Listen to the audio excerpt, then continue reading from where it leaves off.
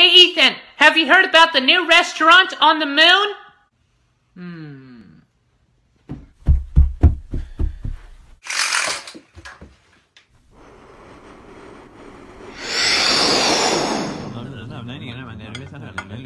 Mmm, the food was great, but there was no atmosphere.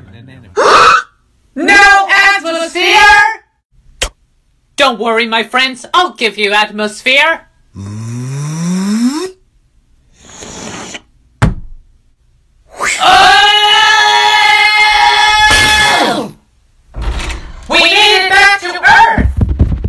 No, you didn't. You're still on the moon!